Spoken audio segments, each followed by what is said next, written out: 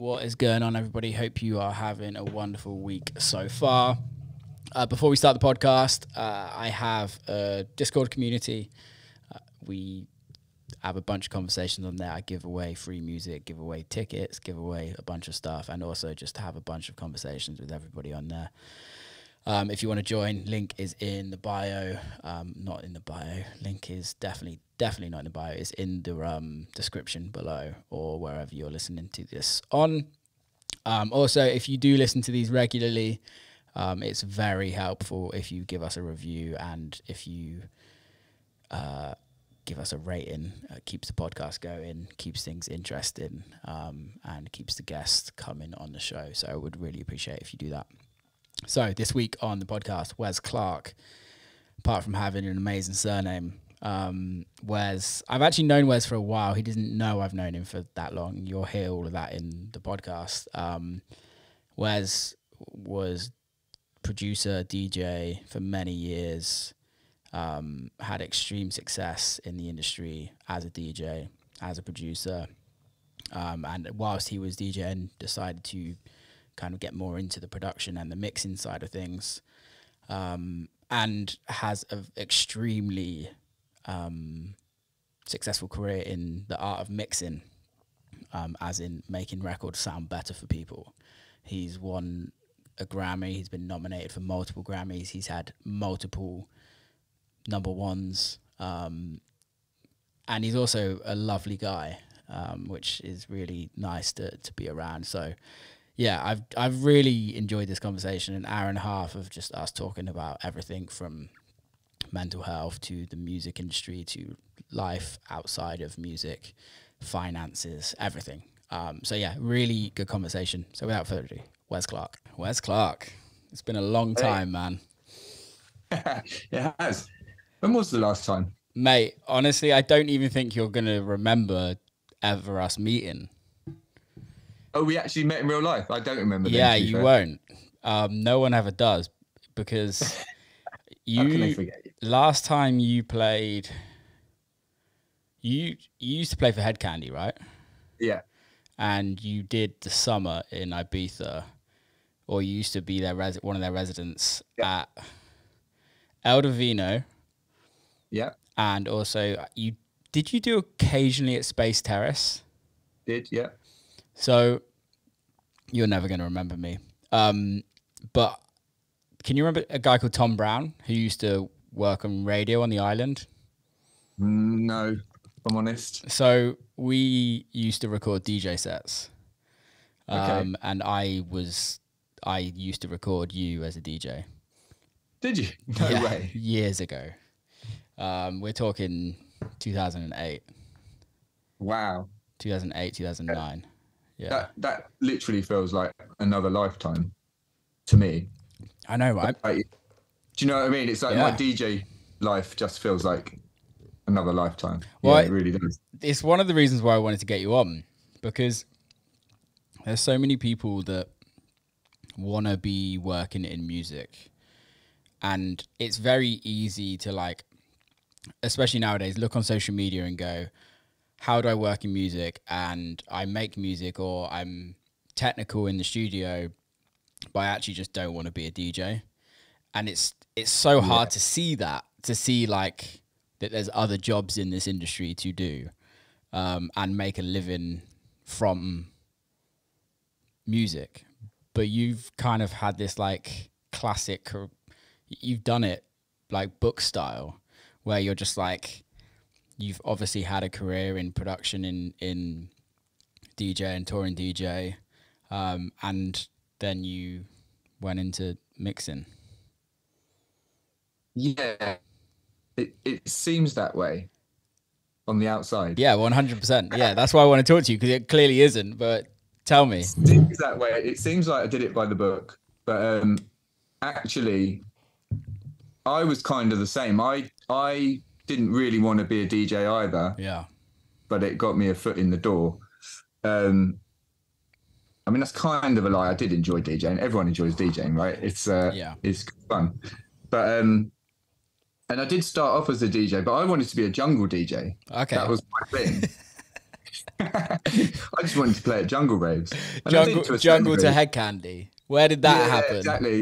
It went yeah, it went it went the opposite direction, yeah. didn't it? Um, but I, I did start as a jungle jungle DJ at sort of around the age of 11, 12, 13, and then 14, I was DJing in nightclubs in, mm. in Luton, yeah. you know, my local town, um, at jungle raves. And that was, for me, that was my dream then. Do you know, that, that, yeah. that was it for me. I was like, oh, I'm doing, doing what I want to do. Um, but then it kind of, yeah, I mean, it did, you know, I didn't become a, a famous jungle DJ, which is which was my vision, you know. Um, yeah, so I ended up sort of um, I ended up just DJing in my local town on a Friday night, just in the local club. My my friends from college owned the club actually, and uh, I used to play there on Friday nights, and and that's how I that's how I fell into it because one night I was warming up for a Hed Kandi DJ. Ah, okay. You know, it's that classic right yeah. place, right time. Yep. Just everything fell into place. You know, I was playing some edits that I'd done, and um, I think um, oh, who was there? There was there was a few couple of other people there, like um, on percussion and that. Um, yeah, and it was it was a wicked night. It was really good, and it just um, we just sort of clicked. It was Rob Wilder actually, who I ended up oh, doing wow. loads of production with. Yeah. Um, and you know, he was like, "Oh, we should get in the studio," and da da da. And I was like, "Yeah, cool." Um, and then literally a couple of days later, I got a phone call from Hed Kandi headquarters saying someone's broken their leg. Can I cover for them in in the Hague? Yeah. I was like, I, would never left Luton. Do you know? Um, yeah, so that I was more scared of the flight yeah. to the Hague than I was of the of DJing. You yeah. know, I was really scared of flying. Um, but I managed to get over it, and then and then every week from then on, I was DJing for Hed Kandi. It was like wow. it, literally. I know, I know. Looking back, I was very lucky. Mm. Um, I guess. Um, fortunate depends what way you look at it. It's interesting you say that though, because like there's there's also that like you said, like right place, right time, and so much of this industry, I think so much of life is about that, really. Especially yeah. when you're not like applying for a job, if you know what I mean. It's it's yeah. very, but it, even that is still like luck of the draw. I think there's a, a, a level of luck, but you do there is pretty much for everybody I speak to. There's a point where it's like right place, right time. Hundred percent, and I guess to be fair, if you're sat in your bedroom DJing, you're you're never going to be in that yeah. right place. Yeah, yeah, Do you know what I mean? So you need to put yourself out there to a certain degree. Um, I mean, I was sending out. You know, this was in the days. This was around. Um, I mean, my early career. I'm talking late nineties. Yeah. I was sending out tapes to record labels, you know, of my music and possibly DATs. No, I think it was tapes, and getting replies saying, you know, this is great, but not for us. Back in the days when they actually wrote back to you, like Universal Records. Yeah. Um, Were you so making I, jungle then? Uh, no, I was making some weird stuff. I don't know what I was doing. It was like breakbeat. I was a big fan of Adam Freeland, mm-hmm. um, that yeah. sort of breakbeat stuff. Um, and I had a I had a couple of tracks out. I had a track out on Ugly Records um, called "What Is Electro," which was it was like a four four waltz time kind of interesting yeah, it was really cool actually. Um, and I had a couple of things out around 2000, I think that was. Um, and I had a record out on Distinctive uh, Ink Records as well, which yeah. which did quite well around that time. So yeah, actually, I, I, bought my first car with the advance on that, and that was I was really young. I was like 20 years old, and that that made me think actually you know, this I could do something with this. you know what I mean? When you actually see sort of some kind of return for your hard work, because I, I sat there for hours, you know, making music. Well, I think that's the thing, isn't it? Is and I think that's what's I'd like to get your opinion on what it was mm. then and what it is now as well, because I think it's all changed with social media, mm. where mm. now DJ and music industry is very people know you can make money from it. Mhm. So it almost feels like people want it instantly. Yeah. And it's not that re- realization that how many, God knows how many years you did with just slaving away and slaving away. And like, even to the point where you're at now, if you're in how many years does it take to actually get to that level where you can actually earn money from from that? Was do you feel like it was the same back then? I, I used to always say you've got to do ten years Yeah, before you earn any money, yeah, and to to do that ten years, you have to have a blessed lifestyle. You know, you have to have parents that are gonna yeah, back you up for for 10 years. You know my mum was great. My my dad passed away when i was young but my mum she just never told me to get a job. Yeah, ever. Or she never complained about the music. Me and my brother looked back and we're like we like she's she must have she must have had some kind of vision for us or something because the Totally. music was insane imagine two bedrooms of jungle music Does your You know- brother produce? Does your brother still write? He, he used to, yeah, and he does now. Actually, he's he's got back into DJing and production now, and he's Nice. he's uh, yeah, he's DJing around. Um, but um, yeah, he got me into it. So he he's four years older than me, and he bought a load of studio gear. Yeah, He he was seventeen, and I was um, yeah, four years younger, thirteen. No, that's not right. I was seventeen, I think, and he was 20, 21 when he bought the Mm, proper gear, yeah. which I've still got actually. I don't know if you can see it. Some some of the some of the gear behind me is still from that era, and the amazing. NS10s, they're original. Um, but anyway, he bought this gear and let me have free reign on it, which you know thanks, was bro. amazing to be honest. And I cut, he he did a, a couple of summers in Ibiza as well, DJing at El Divino. Um, and while he was away, I just got in the studio and got my head down and Yeah. learned learned my trade and and he came back and realized, oh wow, what's going on here? Do, do you know what I mean? It's like, well, while I've been away, what, what's happened here? And, uh, and and he sort of started asking me to help make his record sound, you know, as good as the stuff Yeah. I was doing. And that's how I kind of got into making other people's records sound good, you know, Yeah. mixing, which I had no idea was a thing, Mm. you know. I didn't, and back then there- wasn't any famous mixers. Um, Jeremy Wheatley was the only one I'd heard of, um, but I didn't really know it was a job. Yeah, Um, especially in like electronic music.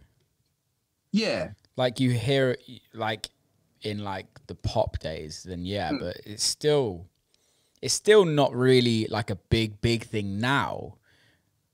no, It well, is, It is. bigger, isn't it? I mean, It's way bigger than what it is, but it's, like thousands of mixers now. Thousands. is there? I mean, yeah, thousands. I I guess because thousands. because I've like I don't really use mixers myself, so I but I'm like in the process of like I was talking to somebody at a label the other day. I was like, "Who do you guys use?" Like, and yeah, I've just never really looked into how many mixes there are out there. Yeah. I mean, there's a lot. There's a hell of a lot. You know, there's and and I remember back sort of ten years ago, there was probably.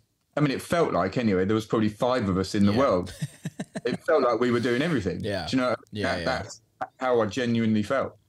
Um, and now it, it seems like you know a lot of things changed during COVID. Yeah, but it, it feels like a lot of people learned or or had to learn to mix and uh yeah there's there's a hell of a lot of people doing it now. Um and it's kind of become quite fashionable i suppose. It's like you know it's a bit like djing. Yeah. it's cool you know.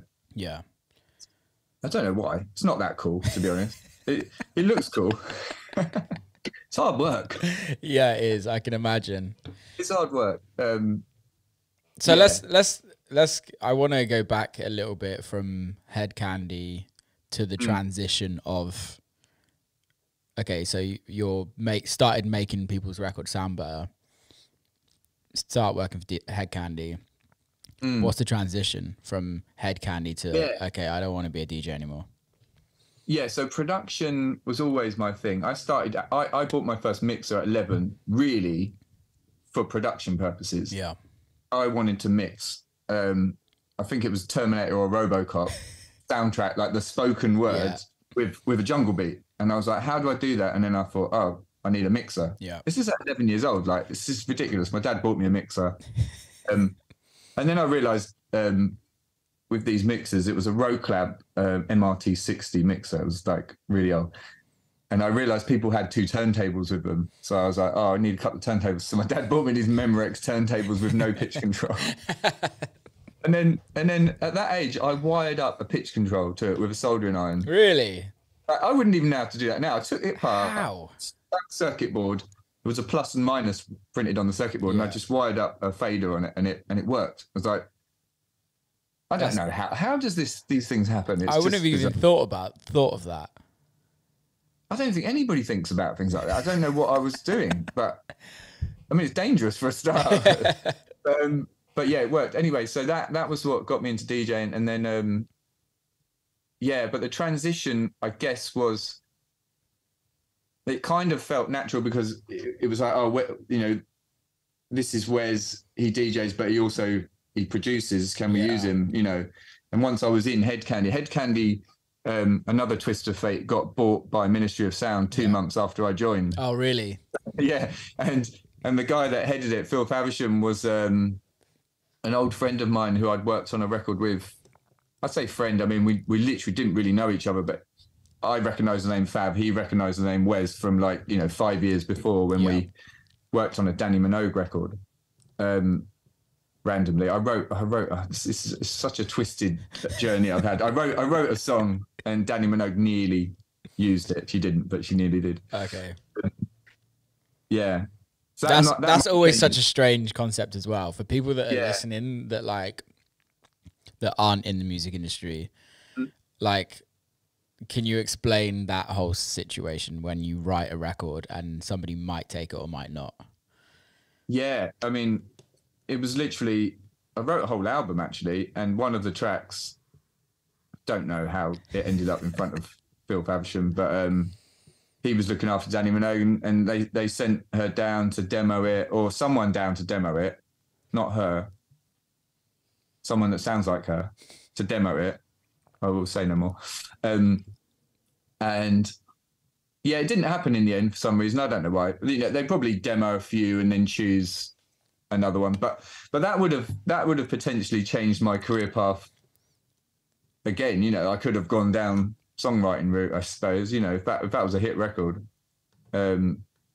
So yeah, it's funny how life twists and turns, isn't it? But um, I you know, I feel like I went down the right path. Um, I knew I didn't want to. So I, I'd written this album. Yeah. I'm, I'm I'm going back and forth but I'd fine. written this out. This was about 2000. So I was about, I don't know, 19, 20, um, 21. I don't know. Um, and then um, I'd written this album, and and the major labels were interested in it. Um, like with me singing on this album as well. Can you sing? Uh, well, auto tune had just been invented. we had the first um, Antares box in the country, apparently. Apart from the Spice Girls had one. We had one in the studio. It was a um, it was a hardware unit, Yeah. and you control it with MIDI. Mm. Um, A- Antares ART one, I can't remember, something like that. Um, and yes, I could sing with with with the aid of of auto tune, as everyone else. Um, but I was quite a good songwriter. I wrote I wrote this whole album of electronic pop songs, Cool. And um, but the first question, I think someone from Universal, someone came to meet me, and their first question was, "How do you see your live show?" And I was like, I I hadn't even thought about it. Do you know what I mean? live. Um, I can't sing live. You've got to sing live. It was it was literally the end of the conversation. Do you know what I mean? It was like, all right. so that that just never happened, and I I thought to myself, I just can't do it. I can't be an artist. yeah. Do you know what I mean? I cannot do it. Um, I haven't got the confidence. Um, yeah. So I went down a different path. Yeah, and it ended up. So I ended up, you know, DJing my local town and joining Hed Kandi, and then um, so Ministry of Sound bought them. Um, and then there's Dipesh Parmar. Do you, you know Depeche Yeah. from Ministry? He's yeah. now he's gone on to be head of Columbia, I think. Um, he's a good mate of mine. You know, I've known him for years. We've done so many hit records together now. But yeah, he, he just started using me on a on a few things, and David Dollimore as well, um, who was head of uh, A and R Ministry at the time. Um, and they just gave me um, just gave me a chance. Really, it was example was was the first thing I really did. Yeah. Um, and Kid Cudi Day and Night, and um, Was that the Crookers remix that you did? Yeah, the Crookers remix. Yeah, Because I don't know what I did on it to be. I can't even remember what I did. I think I mastered it. It it came to me really distorted and horrible, um, and I just like fixed it. yeah yeah because I'm good mates with Bot. That's Yeah. like one half of Crook or used to be Right, One half okay. Of Crookers. And I think I did the radio edit on it and a, a few other bits. Yeah. Do you know what I mean? Uh, Yeah, that was it was huge. um, that record. massive record. Yeah, yeah. So that that was my first sort of taste of. Oh, oh, this is quite enjoyable. Yeah. And and I did Riverside as well. oh, um, did you? Yeah. Who's that? Who's that by? Sidney Samson. Yes. Well done. Yeah. Um, That's coming And- back. That record, is it? mate. I'm hearing it everywhere. No. Yeah, I know. I'm like, I can't hear that record ever again. Please. But yeah, it's coming back. It it's a whole new generation. It's, it's what was that? 2011. Jeez, 10 years ago. more than 10. Yeah, jeez. Um, but We're old, I think mate. did the so the vocal version of that, me plus you. me and Oh, yeah, yeah, yeah. I think, that, um, I think they recorded that in my studio. Did Um, they? I was a jack of all trades at that time. Mm. I was recording vocals. I was, you know, do you remember that um that song uh by Bingo Players, um, Get Up Rattle? Yeah, yeah. The the the radio version of that with the vocal on and all that. I think Yeah. they recorded the vocals of mine. I whistled the uh That was me whistling. And I did some beatboxing on it as well. I was just like whatever it took. Yeah, but I think this is the thing, isn't it? It's like it's going back to what we were talking about just like five minutes ago, where the whole like ten years, and it's like mm. it takes so long to get to the point where you're actually doing exactly what you want, and also working out exactly what you want. Because like every like I know my goals have changed in the last three years, in the last year of like what I want out of this of this career, and I mm-hmm. think like you have to try everything. Hundred percent. Yeah, you have to try everything, and also you have to be you you you have to try everything for for from the respect that you then you can focus on one thing if Yeah. you want, Yeah, yeah. which I always think is the key Mhm. to absolutely smashing it. Focus on one thing. I, I remember my mate. Um, he's now smashing it doing sample replays, and he he was doing DJing and all this stuff, and he watched me focus on one thing. Who's who's that? uh, Joe Hal Ritson? Yeah, Hal's done a few things for me. Yeah. So so he He's great. Not, I'm not, I'm not taking any claim for his for his success. By the way, we we shared studio space oh, really? for, for ten years, Yeah. and he just watched me focus. He said to me once before, he watched me focus on mixing, and he was like, "I'm going to focus on sample replays," and he's absolutely He's the best. he's the best. He's he's the best. I've had I've had sample replays done by other people, and he's just the best. He's the best. Yeah, yeah. The best. Yeah, no doubt about it. So yeah, so I'm totally responsible for his career. I'll Um, clip that out and send it to him. Yeah, uh, yeah, exactly. And tell him I want um I want a credit. I Five want one five percent. Five percent, mate. Come on, not one percent. Let's go. Let's go. let's go in hard. Um, yeah, but um, yeah, where was I going with this? Oh yeah, focusing on one thing. So I, I was yeah, literally jack of all trades. I remember um, even when I DJ'd at Hed Kandi, they used to call me Easy Jetter because because I'd fly anywhere. I'd be Yeah. like, Wez will do that. Where's this gig? Uh, Colombia? Yeah, Wez will do that. Um, you know, war torn. I don't know anywhere with the war. Wez will do that. Yeah, Wez will do that. Um, Antarctica. Yeah, I didn't do that actually. That was one I said no to. Wait, Antarctica was actually an offer. were- there were- yeah, was it Antarctic or Arctic? One of them. One Where's of the them. polar bears? They're both the same, right?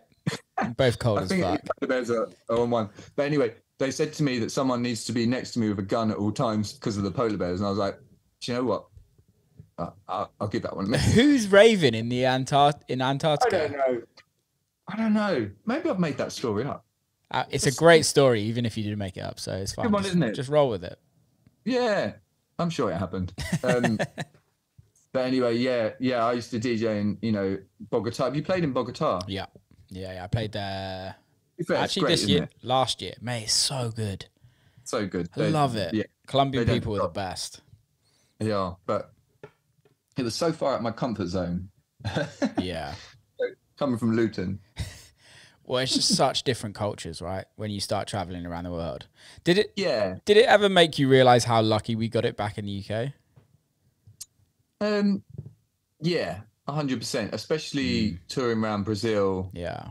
you know, places like that, seeing the favelas and uh, the sights and the smells around the favelas, and yeah, it's it's and how safe it is here. Yeah. You know, I mean, uncomfortable. Yeah, it, you're right. And and even San Francisco and places like that, you know, the the sort of homeless Yeah. situation. It's it does open your eyes a hell of a lot. Yeah, I've lived in the States for like over 10 years on and off now. Mm. No, t- about 10 years. And yeah, like even the States, it, when I come back here, I'm like, we have it so good here. Like, we're so, like, don't get me wrong, we have our issues. Everywhere does. But Yeah. in comparison, it's unbelievable how good we got it.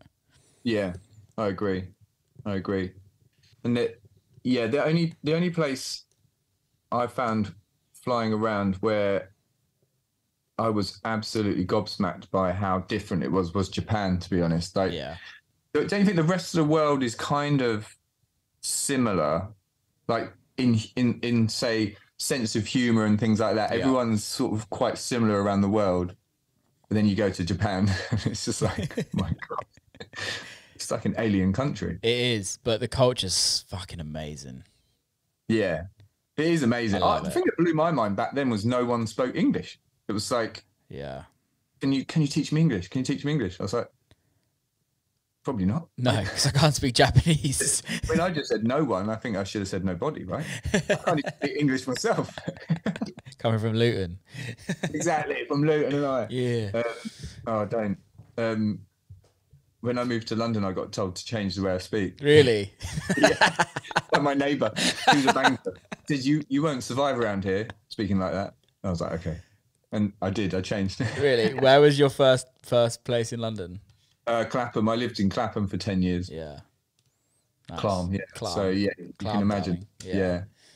Yeah, some posh it was people. great. I loved it. But um, So so when did you when were you like, okay, I have to I have to like stop doing jack of all trades and yeah, go so into so? I, I moved to London because it was Phil Faversham said, "Move to London. The streets are paved with gold." Literally said that to me, and I was like, Wow. "All right." yeah. so I did at 29. I moved to London, and uh, I moved. Well, I, I I moved into the studio next to Hal Ritson, um, which was 10 minutes from Ministry of Sound. Yeah. It was all you know. It was all planned. used to be Chase and Status's studio actually. Um, they yeah, I moved in after them, um, and yeah, it just kind of just kind of flowed from there really. Um, and we um yeah I, I started doing stuff for ministry probably a few years before that. Obviously it was all yeah i didn't just move there you know on a whim. Yeah, yeah. um yeah it was kind of planned um and then and then just got it just got super crazy to be honest around that time. Because I remember I can't I can't put a year on it if I'm honest, but I remember when I heard you were mixing, when you'd become like the mixer, yeah. And there was this a period of time when like everyone was using you. I know everyone still uses you now, but there was it. No, you're right it kind of came to like a, a point where I'm like, fucking hell, what's what's Wez doing? If what you know what I going mean. on because I, I and I it's interesting to hear it from an outsider's perspective. Yeah. So I I I wondered if people thought that as well. Where's this guy come from? He was DJing and now he's mixing, but Yeah. actually I was always mixing. Yeah, and we didn't know that from an outsider's point of view. Yeah. Yeah. and I thought I thought people might think that's a bit strange. So that's why I stopped DJing, which was your question a minute ago. wasn't it? I stopped DJing when I was 30. Um because I thought people might think it waters down hmm mixing. Do you know what I mean? It's like, oh, he's in clubs every weekend. How how is he? How can he hear anything in the week? Yeah, it's true. true, to be fair. Yeah. I remember mixing um Example's first album, or was it second album? I can't remember. With an ear infection with one ear, I mixed the whole thing with one ear. I never told him. It sounds really good. But, um, yeah, it's amazing what you can do though, isn't it? When you're limited, do you know what I mean? Like, you, Limitations are so so key. I like I've got this thing. I've just working on a project. I've just finished working on a project, um, but I've got this thing where I want to write an album on like two pieces of of gear and a vocalist, and just like you have to use this drum machine. Yeah, yeah, and you're just like, what? Because I think there's just so much out there now. Like, That's you, why I love the, having the console Mm, because yeah, just use the console. It's like, oh, I haven't got 75, you know, plug-in Plugins. EQs to choose from. Yeah, like, yeah. EQ. I It's just to be fair, when I produce, I'm really I do only use like one reverb. I only use one EQ. I just can't be. I also I when I go into sessions with people and they have like one reverb on like a vocal and then on the drums they've got a different completely different reverb like different brand different everything. I'm like you're you're using two different rooms. The whole re- point of a reverb is that you're creating space in for a room. If you use two different reverbs it's not the same room so it's not going to sound right.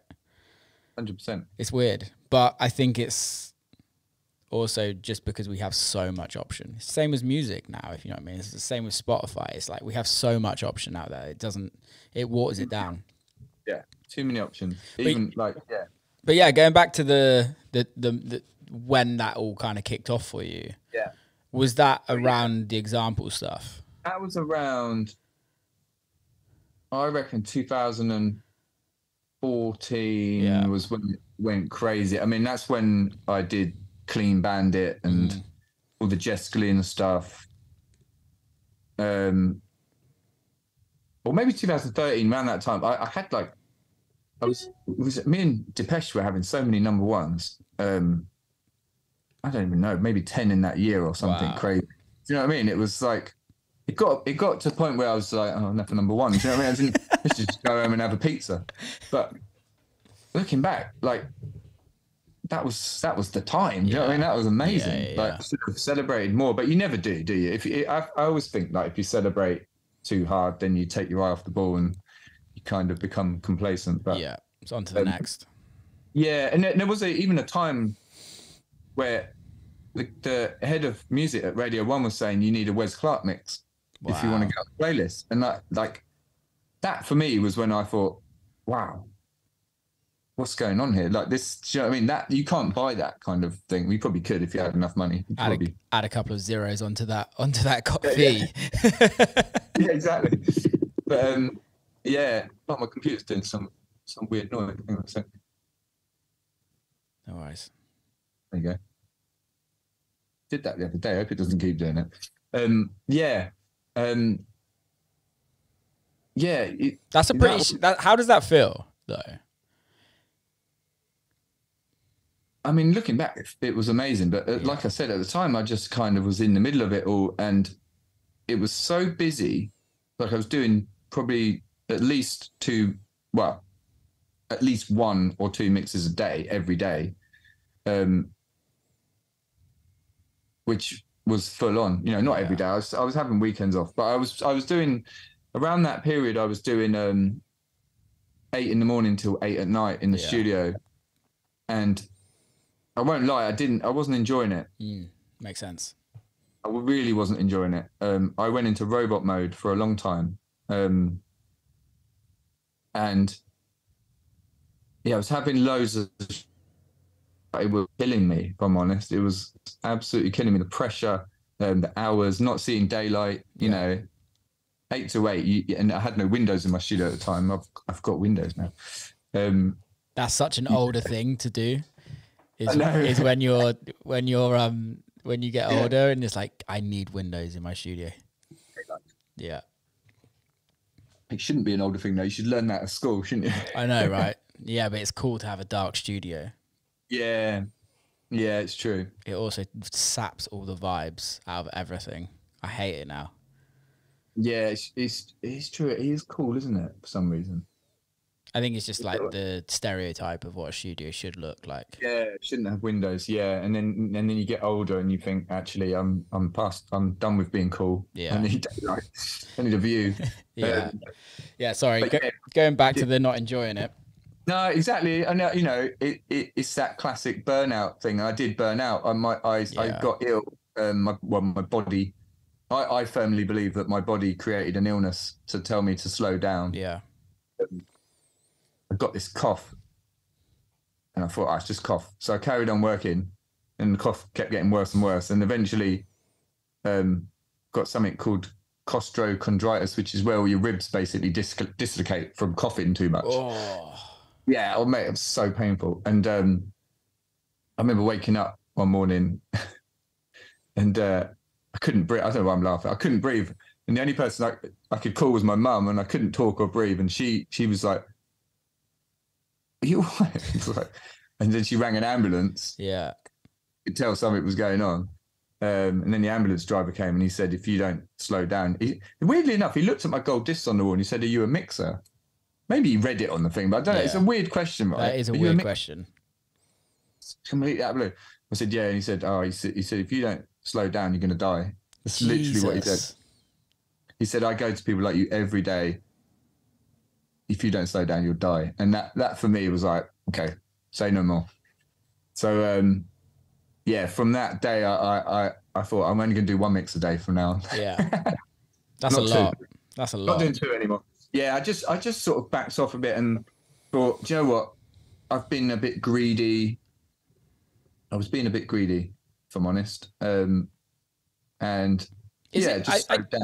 I, I kind of want to like challenge that though, because Mm. maybe you are you were being greedy, but I Mm. think there also comes a point in your career when you've worked God knows how long and you've earned a reasonable living, right? Like you, as a Hed Kandi resident, you were earning okay money, Yeah. if you know what I mean. It wasn't like, like It was, I mean, at the time, it was amazing money, Yeah. right? It was like, geez, whereas I, I went from earning nothing. So, Exactly. yeah. yeah. But then you go into overdrive, into mixing, and you go, okay, well, I'm earning a lot more money now, or just eventually. Uh, and then I don't know if, if you have this. I, I know I have this, but it's like, it's almost that take it now because you don't know how long it's going to last. 100%. Yeah. And Yeah. and I think yes, there is a level of you could call that greedy to a certain extent, but it's also that like you have to realize that no, actually, I have a skill and people are going to want this for the rest of their lives or for the rest of my career. But to realize that is so hard when you've done 10, 15 years of not earning any money doing the career and also seeing everybody come up behind you. There's always somebody clapping away at your heels that want to take Yeah, the job that wants to do it a lot cheaper than you. Hundred percent. Yeah. So yeah, you, you, yeah, maybe greed greed was the wrong word, but I I fell into the trap of thinking, oh, if I do one mix a day, I earn this much. If I do two mixes a day, I Yeah. earn double. Do you know what I mean? It's Yeah, like, why wouldn't you do two a day? Okay, I'll do that. But and and to this day, to be honest, we've never said no. Me and my manager, I've, I've had the same manager, Hannah Joseph, for for years as well. We've never actually said no to any work because of you know too much work is on. We've, we've Yeah. said no to things that I don't believe in or feel like I can bring anything to the table. Totally. I think that's important. Um, but yeah, we just we've just always just been like, yeah, we can do it, we can do it, we can do it, and like you know, she's booking all this stuff in my diary. and I'm like, yeah, we can do that, and oh yeah, and it got to the point where I was like, oh, I can't do it, can't Yeah. do it. Um, but yeah, so I had a little bit of a burnout for for a minute, and then it didn't last long to be honest. I kind of got back uh, back into it and and never hit it as hard Yeah. you know um by the way I, i've never done drugs or anything like that i wasn't like caning it and doing all this like Mm. i'm you know the burnout was completely natural Just from No, pure work, overwork. yeah yeah it was it was just pure work the burnout's real though, because I think a lot of people don't talk about it in this industry, and I think it Mm. it's a crazy industry to work in. It is crazy, and you know, you and when I DJed, I used to drink, but I never. I, I'm glad I never did drugs because I don't think I'd be here today. Yeah. Like, yeah, you know, it, it would have been so full on. Um, just the traveling alone is killer, as you know. Yeah. You know, it's Yeah, it's not easy. Yeah, I, I don't drink and I don't do drugs. And all my mates that do around me, I'm like, I don't know how you guys are surviving that plane. especially you know as we get older my mates are still some of my mates are still doing that i'm like Yeah. jesus you need to be careful now Yeah. it's like you know um but yeah it's it's interesting that you, that we're we're on a similar similar sort of thought process with the drink and drugs thing um I think I think it's also people don't think about it in the grand scheme of things because it's so part of the industry. It's so like, yeah, and everyone i meet assumes i just yep, they don't even ask me they just assume yep, that you must have done drugs when you were djing Yeah. Like, and i'm like well no i didn't ever yeah, But um, yeah, I don't know. It's it's a bit annoying actually when you meet you know new people and they assume that. I think But, uh, I think it's because it's so part of the culture. I think what annoys me the most is when people like question why and also are Yeah. like and try did you do drugs? yeah and try and like push it on you and i'm like no it's that's that's weird but then they're just the people that i just don't hang around with they just It's just stupid, stupid questions, isn't it? It's like it's never even entered my mind to to to do anything, and it's like it's like why don't you smoke? You, I don't think anyone would necessarily ask that, would they? no, why, why don't you? at all yeah yeah Because it's really bad for you, and I've never felt the need to smoke. Yeah. You know I mean? It's like- Yeah. Same with drugs. It's like, why? Why did you never do drugs? Yeah, it's I don't know. To be fair, I mean, I'm sure they're great and fun in some respect, as long as you can keep them under control. But I don't think I would have been able to keep them under control. That's, that's my, the thing isn't it that's my personality. I'm like all in, you know, Yeah. with everything. Um, yeah, I have to. I have to win at everything. Yeah but that's a really interesting mindset do you think that's why you became so successful in mixing hundred percent. And I also like you know going way back to childhood. I I when all my mates were um, playing football every Sunday, I was BMX racing, yeah Which is very solo sport, yeah just me. Um, and I think that's quite interesting because working in music, well, especially as a mixer, especially or maybe a mastering engineer, is, is such a solo yeah it, it- it's it's quite a lonely actually existence. You know, you're. I mean, I've I've never really had um, an assistant either, so I've literally been in rooms on my own most of my career, Yeah. just sitting there, you know, with with music um, all around me. Yeah, it's it's it's a weird existence. Um, which is probably why, yeah, I, I had that sort of time where I burnt out because it was just. I think you know if, if I'd had someone there to bounce off, they might have picked up on it and said, "You need to slow down." chill out you know what I mean? It's like. how does um, that work with relationships for you as well I mean, back then I just, it, yeah, I was just, I couldn't have had a relationship at that at that time. yeah There's no way. Um, and when I was DJing, I couldn't have either because I was just never in the country. yeah So yeah, it's been it's been difficult. Didn't really settle down till sort of quite a lot later. Um, but yeah, I don't know. I wouldn't change the path. I was going to say, is there any, is there any like regret there? Uh, No. No, I don't. I don't have any regrets. That's good. I, I honestly feel like I've never had a plan either, and I- I guess that's my theory. Is if you don't have a plan, you can't regret anything, right? Because nothing's gone wrong, is it? It's like I, I read somewhere the other day. Someone said something to do with the way the universe is. Everything you do is wrong. Like you, you, nothing you do can be right. I don't know why. it's just the way of the universe. That's the biggest head wrong. fuck. It's the biggest Yeah, head I fuck. like it though. It's good, right? Yeah. nothing you do is right. It can only be wrong. So stop trying.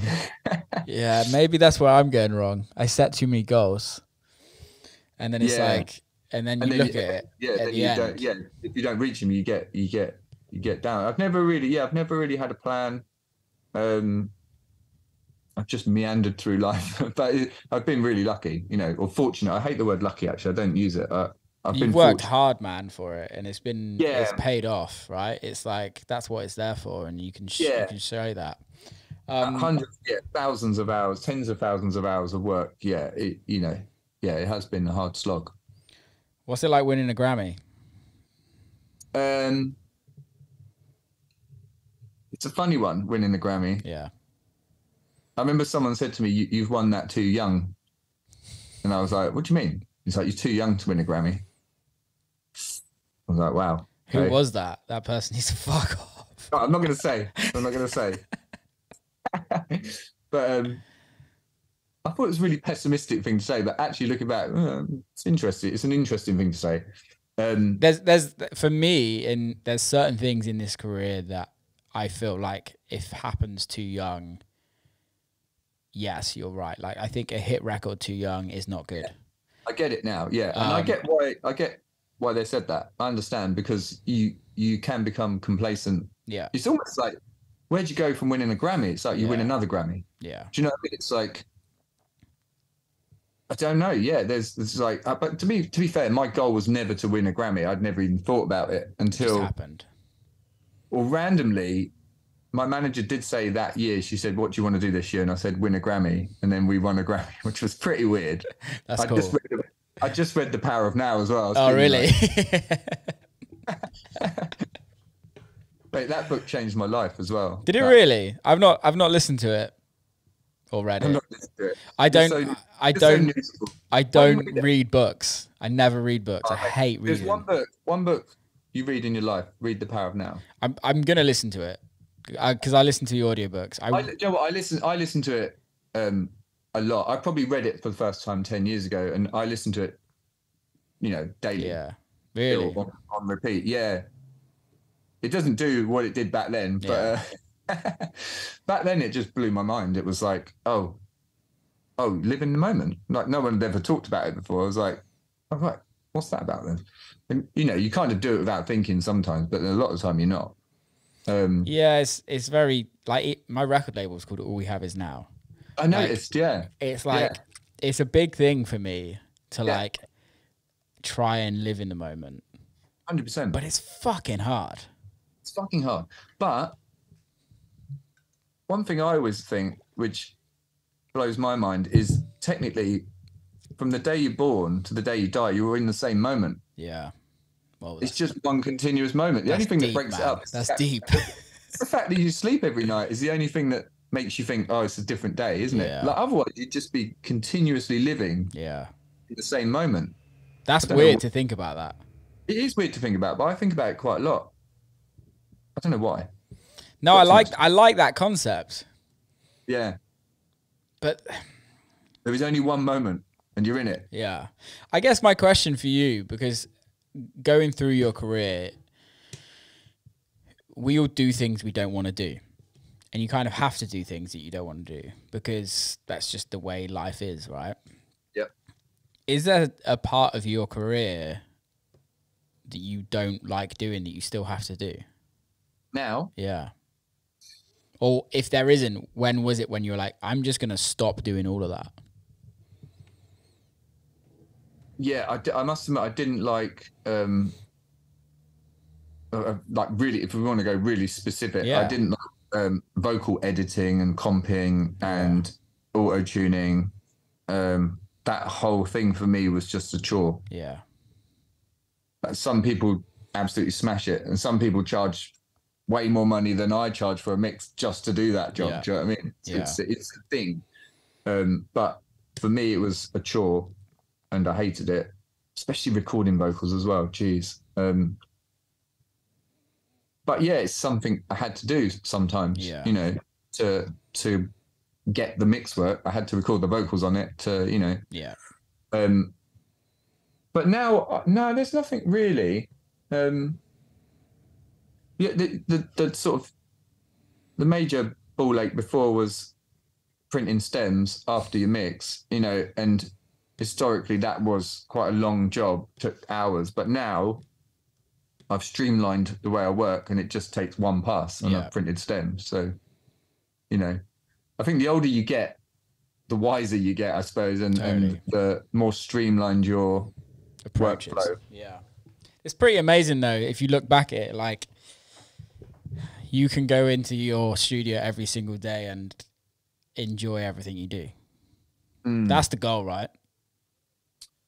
Yeah, it is, and you do have to keep reminding yourself how amazing it is. It's like what you said, how how good we've got it in England compared to to some countries in the world. Like just actually yesterday, no, when was when was the day was it yesterday? Monday.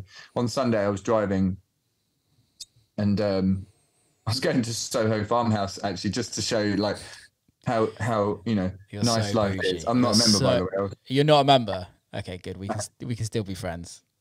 I'm not a member. I was just going for the ride. But um, I was just driving along thinking, it's great, isn't it? Life's great. N- not not for any particular reason. The sun was out. Yeah. That was what I was thinking.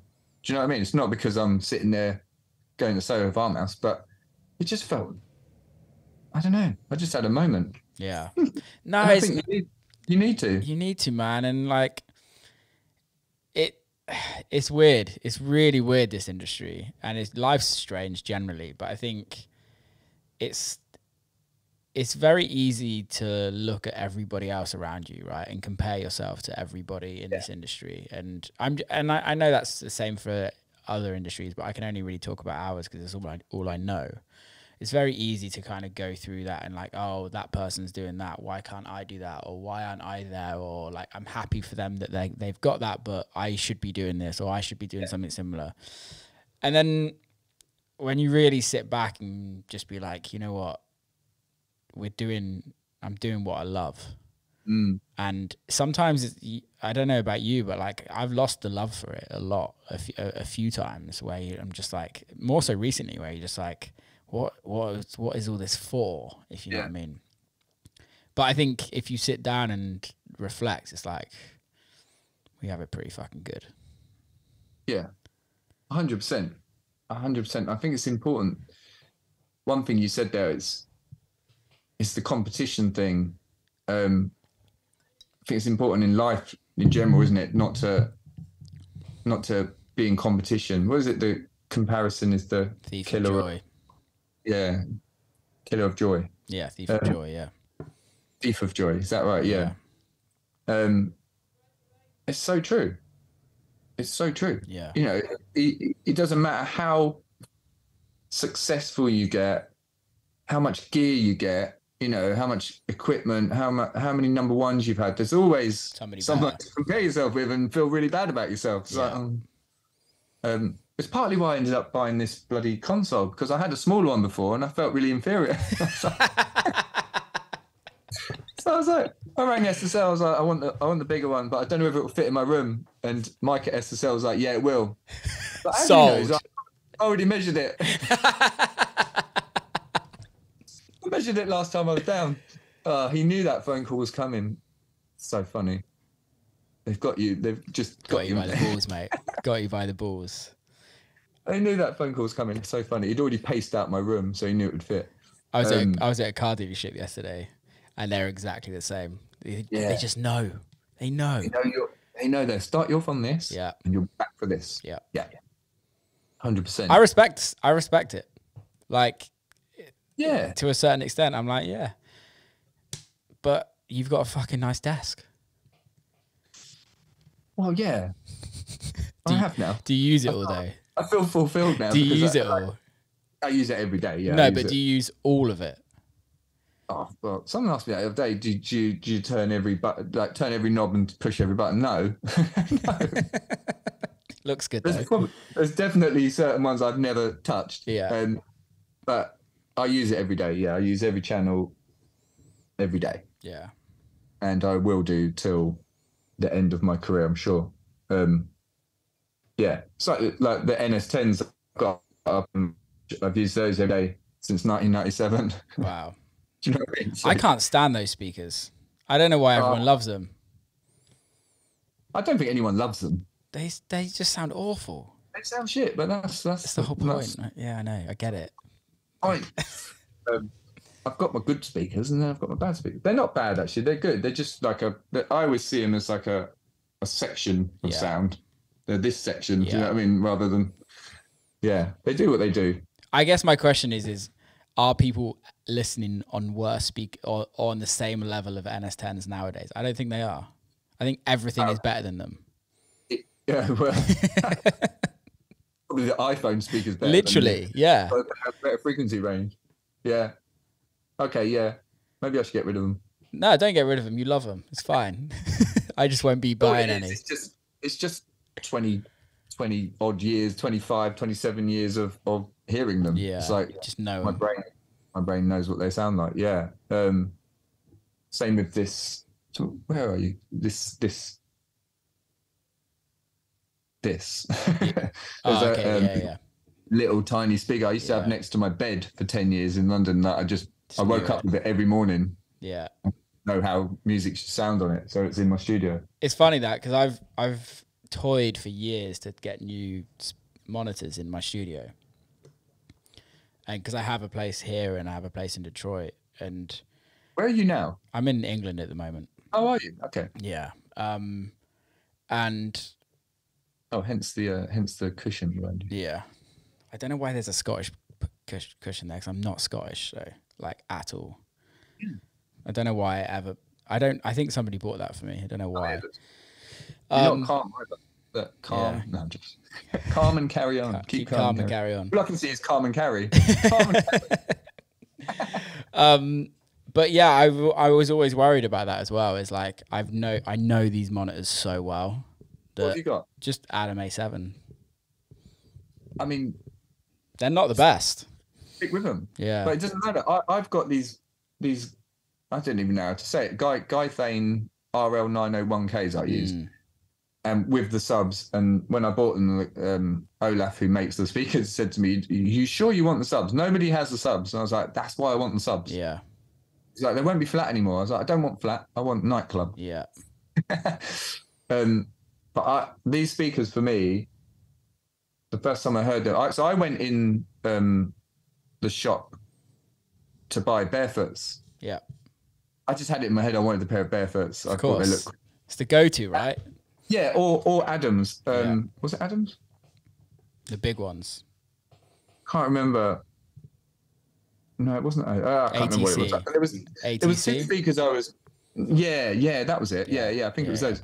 Um, but they're not the big ones, the smaller ones. And I went in and compared them, and they sounded so different to each other. I was Yeah. just confused as hell. I was like, Barefoot sounded one way, and these other ones sounded other. So I was like, ah, I don't really know where I stand now. I'm Yeah. confused. And I went upstairs, and just before I left, the the guy was like, "Oh, you should you should listen to these Geithains." Um, he said, "You won't you won't want to mix on them, but just have a listen." And I sat there and I went, "Jesus Christ!" Like that. Do you know? You know when it you know when something just feels like home. Yeah. I, you know when you meet someone, you feel like you know them. It's that kind of vibe. Um, and they were like double the price of Beth. I like, I had to had to buy them. Get 'em. Are they the ones that are like hand built? I don't know if they're hand. I, I, I, it's funny because I I bought them in the end from direct from um, It's Sweden. Is it in Sweden? German, Germany. Ah, It's, okay. uh, I'm thinking Guy, it. Is a is the village they're made in. Uh, okay, I'm thinking of something Yeah. else. Um, and uh, so the guy Olaf um, I was dealing with to buy them. I thought he was the salesperson, but it turned out he like he made them as well.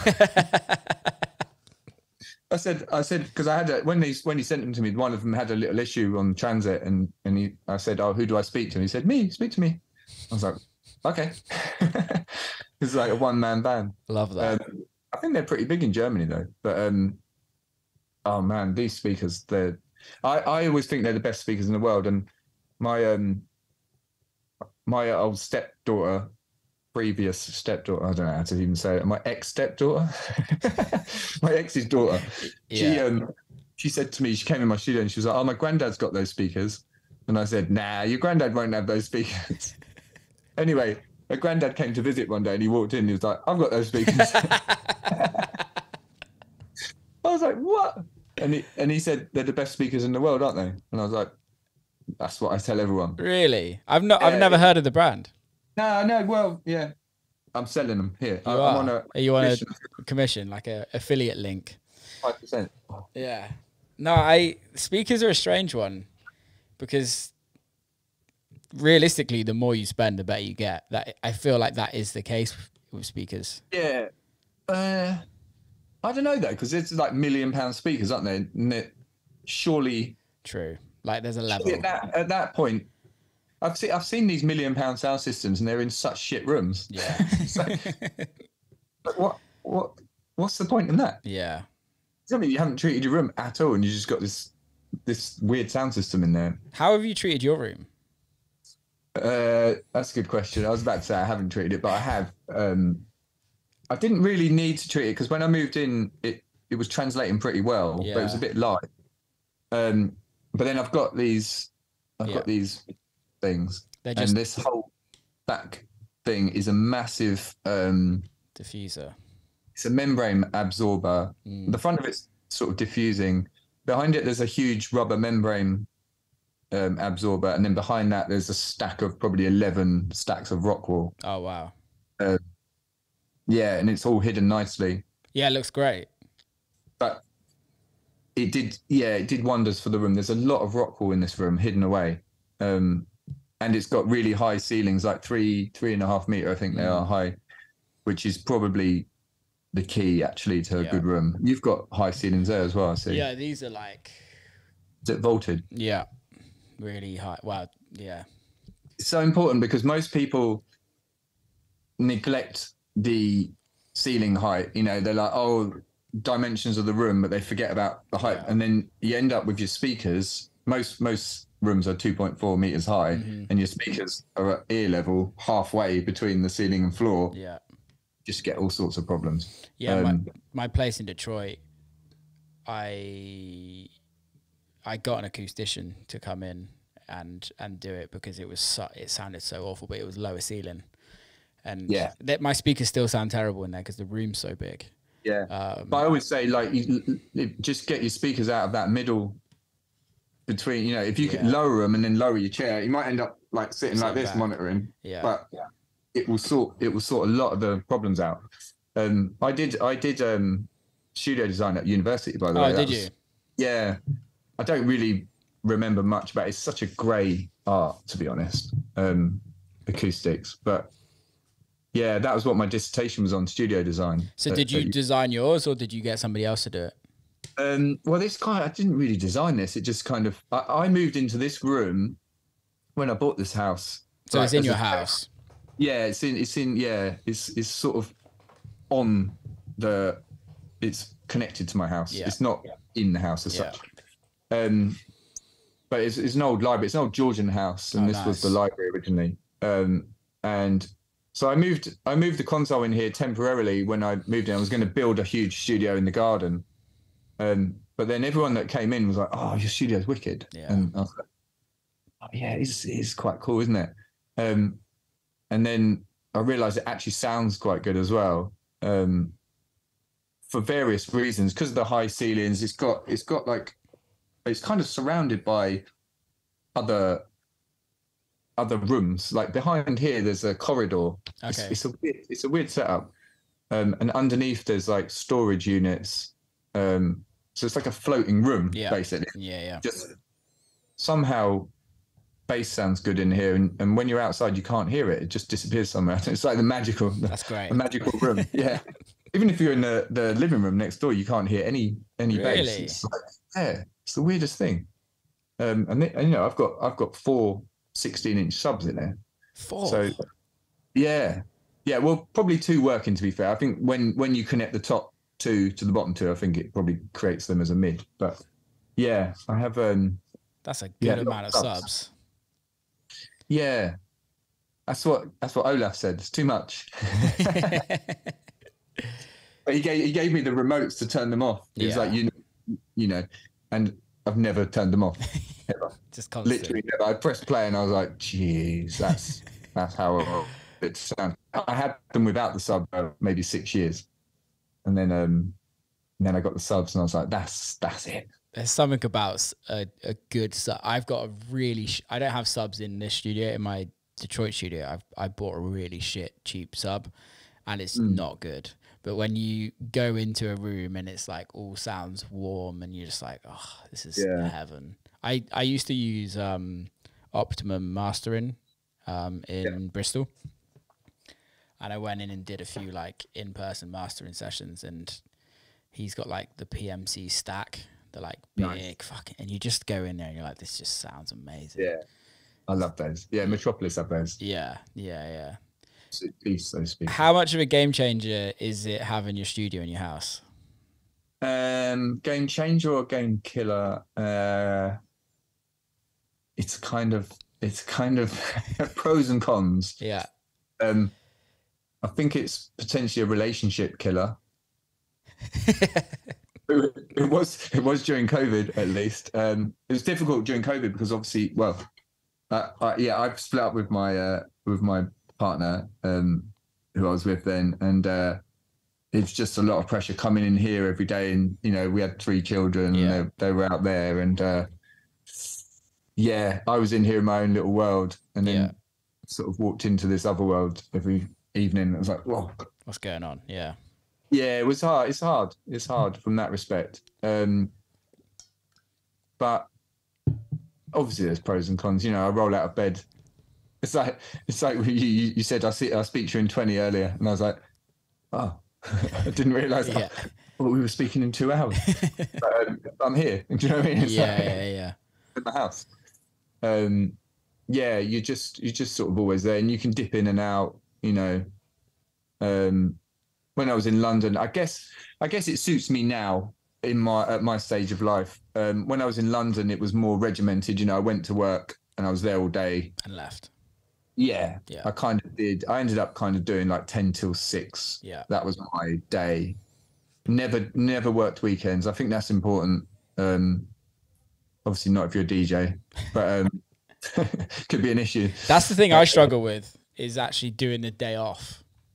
Yeah, when to what when when do you have a day off? I don't.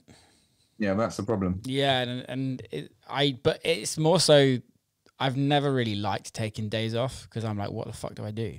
Like, I don't like it either, but my manager taught me it's you've got to do it. yeah, she, she just never let me work weekends, and it was. I feel like yeah, that that's really important. Well, I think the thing that for me that I struggle with the most, and it's almost like I kind of have like two lives, one in England and one in America. Yeah. And my life in America is very selfish. It's like it's just around me, just me. Like I've I've got a few friends where they in Detroit where I live, but like it's just me. And then in the UK, obviously I grew up here. I have all my family here. I have every like all my old friends and everything like that. So it's a lot less selfish and but also when you actually have a day off, it's like then just filled with everything because it's like you have to see everybody. You have to because you're not. I'm not here for that long, so it's not. that I'm complaining, but it's just I. It's the one thing I I need to learn to do, and I I do really want to work on like accepting that like I don't have to be in the studio every day. Yeah, yeah. I think it's I think it's important, um, but it is difficult. Yeah, it, is something you need to accept as well. That's a good word because your brain tells you, "Oh, I should be doing something. I should be I should be working on getting where I want to be." Or Yeah. do you know? I mean, it's, everyone else is doing it. Everyone else is working, Of but it's that burnout thing. You know, it's you don't want to burn out. That's the thing. Yeah. In there, and it's not nice. Yeah, it's not fun. No. It's not fun at all. And and yeah, one one like your body will create an illness. That that is my belief. If if it wants you to stop, it will make you stop somehow. yeah, You don't want it to be a bad illness. That's the that's the thing, know. isn't it? yeah yeah, there's a few going around at the moment. You just like a few artists, and you're like, fuck, like Mm. you just it's so unfortunate, so Yeah. unfortunate just to see, and you're just like, yeah, it makes sense. actually yeah no you're right. I'm yeah I see a few people I've worked with over the years right now that that are going through some awful Yeah, yeah and it is it's hard to watch. But um, also there's the you know the the sort of mental side of it as well, isn't there? That yeah, not so obvious, but um yeah, yeah, totally, totally. That's the thing. I think that's the that's the worst. To be fair. Because Yeah. it's like it's so un. Although mental health is fashionable to talk about and everything like that, Yeah. but like, it's it's hard to see it if you're a manager, if you're an agent, if you're an artist, if you're a friend. It's hard to. It's easy just to keep going, right? It's it's really hard. You know, you look at Avicii. You know, it's it's hard yeah. to say. I don't want. I can't do this gig tonight because my mental health's not in the right place. You can't. Do you know what I mean? No one's going to take you seriously. Either. If you say I've got a broken leg, yeah, or maybe it's not working, fair enough. But I'm not feeling up to it tonight. It's not really a good enough excuse. It's weird, and I think the thing is as well. It's it's like it's not just one gig that you're not feeling up to. It's probably the whole year that you yeah. don't actually want to do, and yeah. it's just like a case of like, you know what? I actually just need to stop for a year. But yeah. but then also, I think it the way I look at it as well is like it's not just me.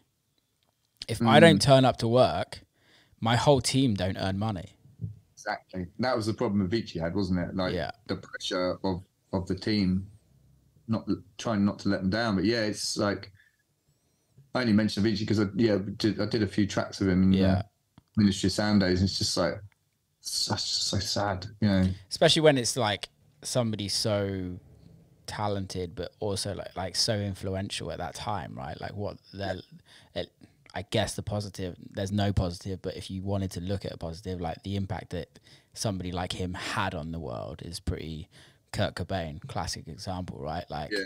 a lot of these artists, Amy Winehouse, like there's a reason why they're so fucking good.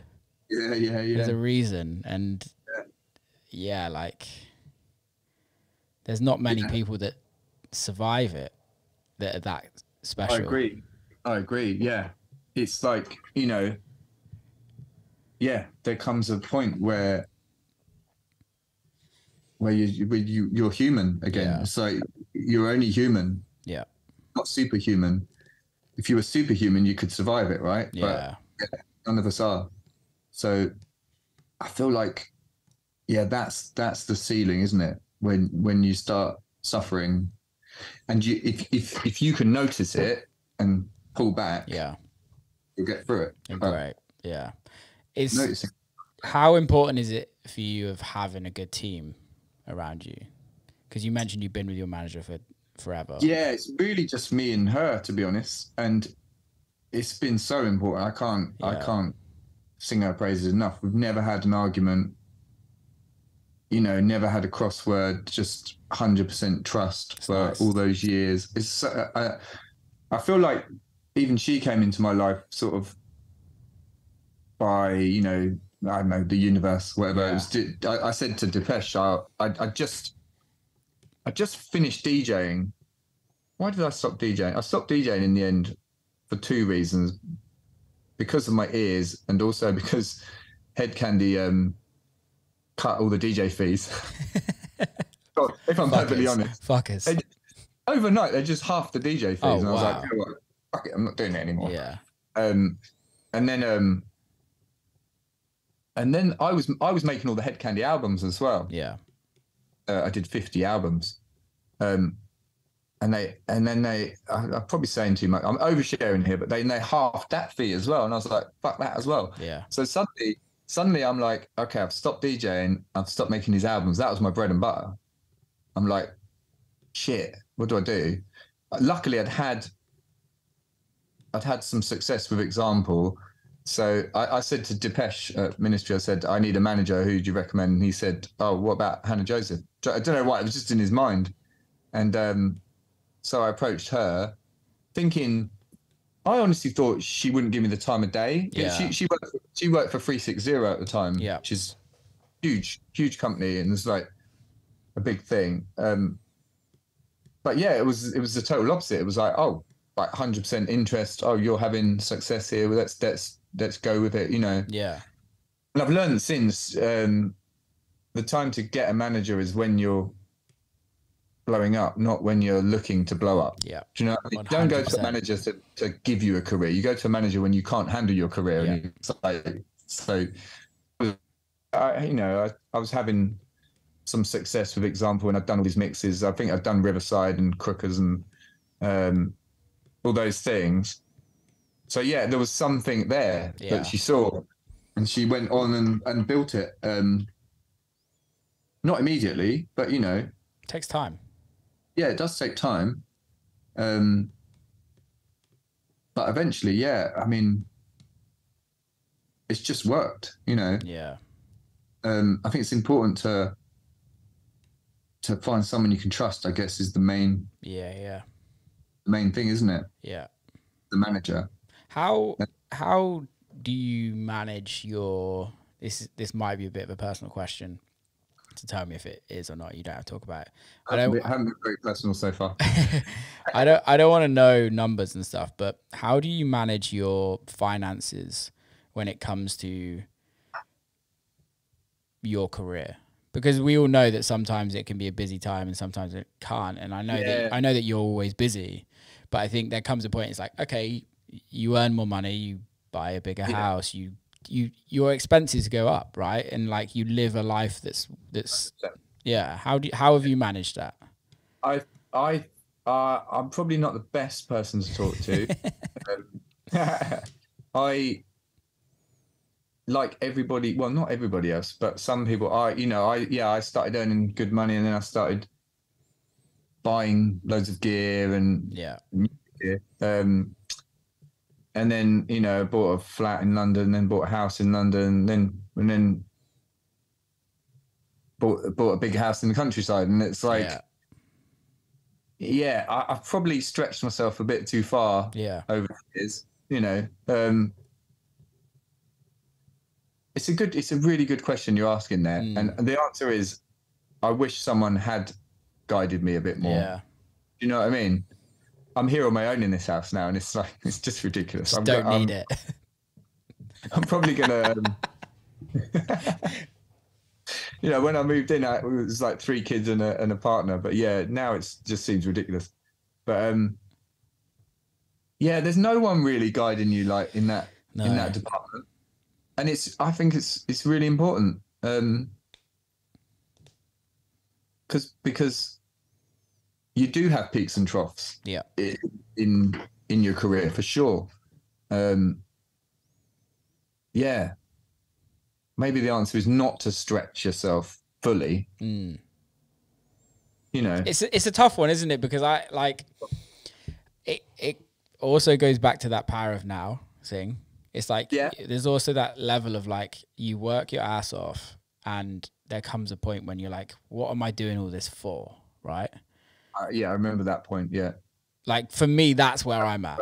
It like being like completely honest. That's where I'm at in my career now. Yeah. Where it's like, what are you doing all this for if you're just constantly just on the go and not actually? Yeah. I remember that moment though, and I, I was living in like a shared house in London, working on all these hit records, and I was just thinking, what am I doing? And then I went to see a mortgage advisor, and she was like, "Oh, you've got enough saved to buy a house," and I was like, "Oh." yeah, Yeah.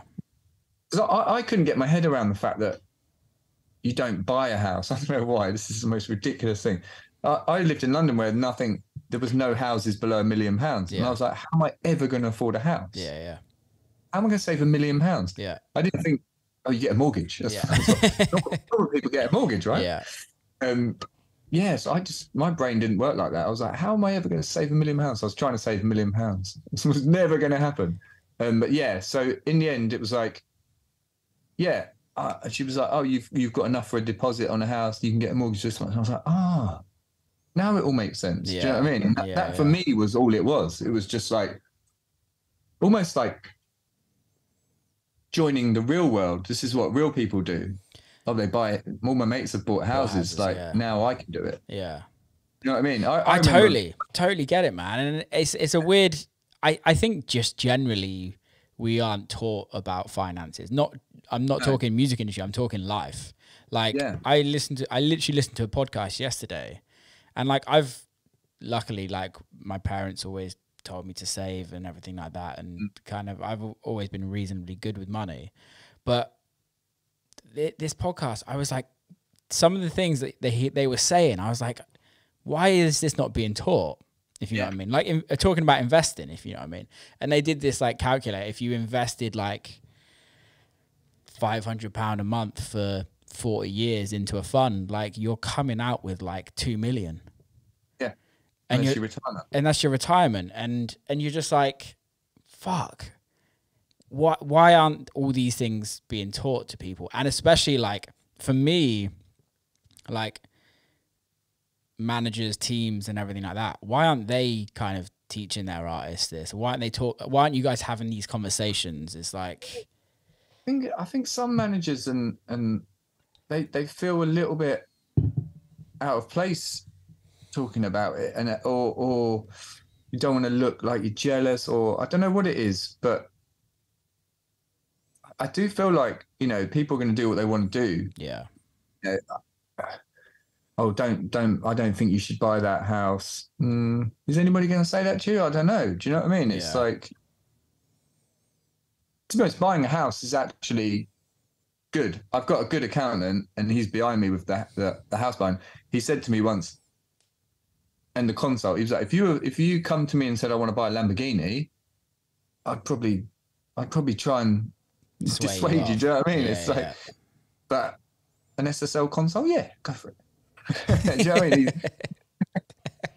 He's, he's just your best mate, isn't he? So that's you, yeah, he's good. He's good. He's good. But um, yeah, he would. He, I like to think my accountant would tell me if I was about to do something stupid. yeah, Um, but yeah, definitely needs to be taught at schools. Maybe it is now. I don't don't think know. it is.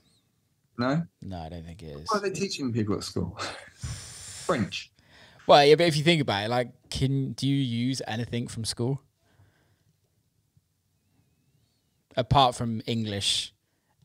It's a tough question, isn't it? Because because you learn a lot at school. You learn a lot of life at. Isn't taught exactly. Isn't Yeah. taught in the classroom. Um, but yeah, no, I know what you mean. Am I using Pythagoras' theorem daily? Absolutely not. It's got a phone for that. Yeah, yeah, exactly, exactly. Chat Oh, you won't- GPT. You won't always have a calculator on you. That's what they used to say.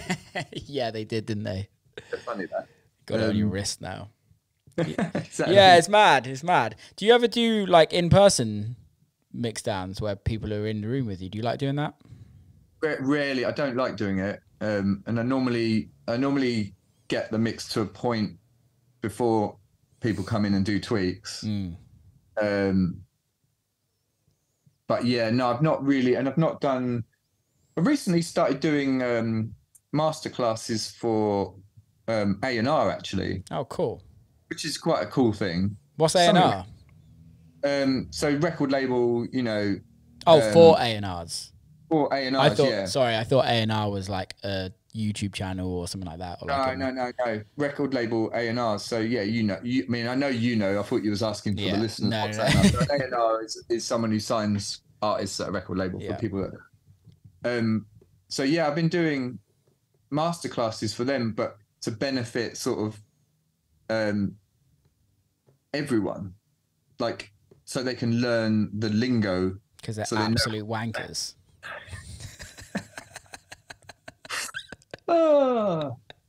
I can't say that. You never said that, did you?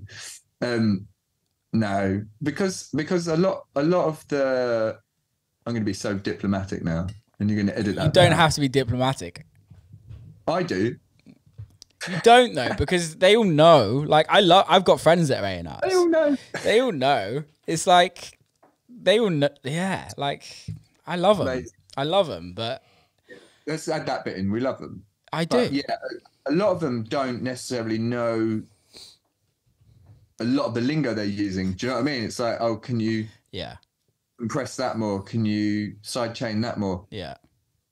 what can can you can you um i'm not even going to say some of them because some of them, are so, some of them are so ridiculous and specific to certain people that they would know if they're listening they'd know i'm talking about them and i, can't, I just can't do it but i've had some howlers absolute howlers over the years um and i just got yeah i just thought "Do you know fuck it i'm going to get them in and teach them no, it's really good. It's really interesting, and I actually Yeah. like it because I think there is there's a lack of that. This is the thing, and I I know you're working a lot more with majors, um, but it's really interesting for like me where I I don't really work with majors, and we're starting to work with majors like over the last year or two. Yeah. And it's really interesting the relationship between the A and R and the artist Mhm. and like how that relationship is bonded and there does come a point when an A and R will say something, and you as the artist, it's actually like really fucking offensive t- Yeah. sometimes, and it or just completely laughable, where you're kind of. It sounds ho- ho- horrible to say, but your kind of respect for them is just like goes out the window for a certain point because you're like, what's this fucking guy doing? He doesn't know, or what's this girl doing? They don't, don't have a fucking clue what they're talking about. And I think there is a level of like, okay, you want to be an A and R, you have to be, you have to educate yourself to a certain level. I'm not asking you to be a producer. I'm not asking you to be an engineer. I'm asking for your ears. Like, Yeah. also maybe like don't try and be technical if you don't know it, and be honest. Like, I'm not a technical person. Yeah. Yeah. I don't know what sidechain compression is, but can we put some on it? Yeah. Just be honest. You would hate me. I never, I never use compression. You never use compression, No, I know. or just in general. Generally, yeah, I love that. I don't hate that. I love that. I never use Uh, it. you know what? I, I, I, I, I started my career for the first probably seven years without a compressor. I didn't, Yeah. I didn't have one because it was pre VST. Yeah, And do you know how I got around it? I just made everything fucking loud. yeah, So the- turn the gain up. Yeah. It's got no headroom. It's compressing. yeah. All of my records had distorted hats, distorted bass, distorted vocals. That's a vibe. Yeah, it was a vibe. It was wicked. There's a. Why don't you? So they're definitely attainable now. I just don't. I don't fully understand them, Interesting. and I did it all at university. yeah, So like I learned, I learned how to break the rules. yeah, like I understand what they do totally, but for me, is like if I can make it sound great without using anything, Uh-huh. like does it need anything? Technically, probably yes. Well, no, no. If it sounds great without it, why why does it need it? because it probably would sound even better if we used it. Or greater? Yeah, but like Yeah. that's always been a thing for me. Is like if I I use EQ a lot, but yeah, as well. Like I, I'm not afraid of EQ. You know, No. I don't do that subtractive bollocks. I just no. EQ the ass out of it. Yeah, if So it, if it sounds good, it sounds good. yeah. Simple. But same with compression. I don't really, when I whack a compressor on it, I don't necessarily have it compressing. That sounds weird. I don't know what it does, but it does something. yeah, that's the thing for me. Is like I'm like, can I tell the difference? If I can tell the difference and it makes it better, then yes, I use I it. I mean, for me, like these outboard, these I, I use these Wes Audio Mm. uh, E76s they're called Yeah. on vocals. You chuck that on a vocal, and it just sounds like a finished vocal. yeah, Like, do you know what I mean? Yeah, it- yeah. it- for me, it's like it's just easy. You put that on it, put a bit of reverb on, bit of EQ, dash your Yeah. finished vocal. Yeah, yeah. it sounds great. amazing. Do you know what I mean? So when I yeah, when I've used it separate studios like in London or something, and they have like a vocal chain, you're like, okay, this sounds way better than Yeah. what I would be able to record in my studio. Yeah, One hundred percent. I have I have a vocal chain as well. Yeah, it goes it goes through various things really subtly. Yeah, you Yeah. know um i think i've got it going through the Manley Varimu. um the the beta 76 is the uh ssl fusion yeah. um I, I think I think that's the thing for me that I would be way better at is if it was like just outboard and it was just more hands on and being like, Yeah. okay, I twist this knob and like I can hear a difference and I can Um, make I, I don't i don't think i'd be any good in the box now either Mm. I, I literally i tried it recently just bec- for speed someone's like oh can you just do a vocal mix on this and i thought i'll try it i'll just do it in the box and i just felt really lost Yeah. I didn't know what I was doing i was like uh, I, I couldn't tell if it sounded right or not so then i loaded it on the console I was like oh yeah that's that's better. Yeah. where I am. Do you know what I mean? But, That, I um, think that would be the thing for me to like get more into it is just like get more outboard stuff. But then when you're on the road all the time, you, you just need kind more. You need some more synths. Ah, probably. this one's just a MIDI thing though, because I've just worked on a project and I had like a keys player come in, and I've never, I'm, I can play the keys kind of, but I'm not like full on keys player. Right. and they wanted So like weighted. they want no, it's not even weighted. He just wanted like actual full length keyboard because it's like then you don't have to press the octave up all the time. Yeah, yeah, yeah. Of course. Um, but yeah, I just always use this the sub thirty I used to. Ha- I had a wall of synths as well. I got addicted to buying synths. Did you? In the in the round, yeah, 2008.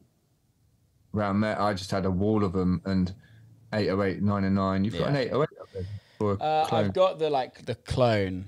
Um, Yeah. This drum machine that you can't really see. This is the best though. It's the ADS seven AVP. Ooh.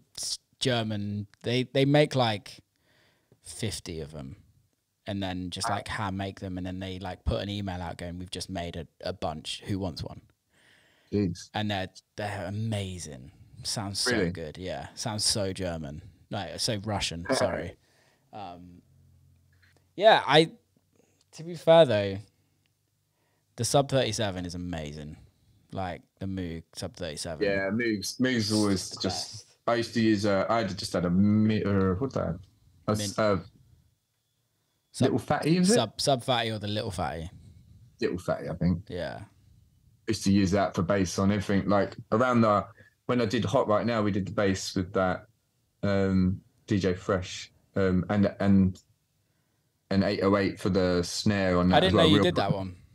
Yeah, yeah. Did did did mixed it and I did some production on it as well. Like the snare, you know, there's an 808 snare and kick on there. Off, uh, no, is it 909? Can't remember what we use now. Maybe 909, or maybe the kick off one and the snare off the other. I can't remember. Um, and and the and the the bass is off the the Little Phatty. Um, it's just solid. Just Yeah. sounds solid. Anything analog to me just sounds solid, especially on a low octaves when you go down. Yeah. boom, boom, boom. It just keeps the solidity. No, you do that on a, if you do that on a VST synth, Don't get it. oh, it just disappears as you go down, doesn't it? Yeah, yeah.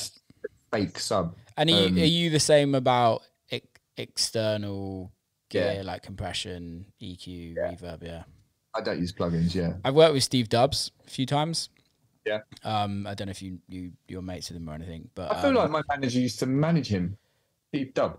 yeah, does all the Chem stuff and Moby stuff. I feel like uh, uh, my manager used to manage him Yeah. me. Yeah. Um, and he was the first person that I've like w- sat in a room with that used SSL desks, Yeah. and it was just like absolute game changer. To Yeah. be fair, it does make me want to buy one, but Go and buy one. Your accountant will. Uh, will hate me. yeah, it's probably a depreciating asset. To be fair, I don't know if Um, it is though, is it? Because like, it is. That's Is not, it? That's not lie.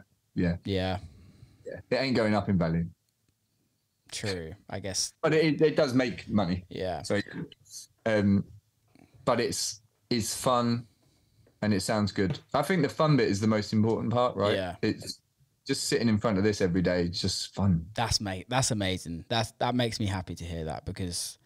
Like, I think it's very easy when you've been doing it for so long to get jaded, and to like, and just to be like, oh, here's another fucking mate. I I get it sometimes, where I'm just Yeah. like, oh fucking hell, I've got to write another record, or I've got to do this, I've got to do that, and for me is like, how do I find that fun in it again? And for Mm. for now, I've worked it out that it's like working with other people because I've never worked with people. I've always just been lone ranger in my studio by myself Right. And working with people, like getting in a room with people and just like having a laugh. That's way more fun to me. Yeah, hundred percent. I remember that. I remember that feeling. No. Mate, we've just done an hour and a half. Um, I absolutely loved this conversation. Thank you so Yeah, much for great. coming on, man. Um, how can people do you do you use social media at all? You- I'm on Instagram. Yeah, yeah. Um, just Wez Clarke uh, on Instagram. Yeah, I'm not on Twitter or anything, but um, yeah, probably probably good I'm thing, around. Probably a good thing not being on Twitter. No, I'm not, I mean I am on Twitter, but um, I'm not on Twitter. But Yeah. yeah, I'm not on Facebook or any or any of those Nice man. those things. Dude, Yeah. thanks for uh, thanks for coming on. Thank you, man. It's Keep in touch. Great. Yeah, you too. And I'll see you soon. Big love. Peace. And that's a wrap. Big love to Wez. Thanks for coming on. Thanks for listening. If you did like it, please subscribe. Please give us a review. Um, and also, if you want to get involved in the community, hit the link in the description. Keep safe. See you next time.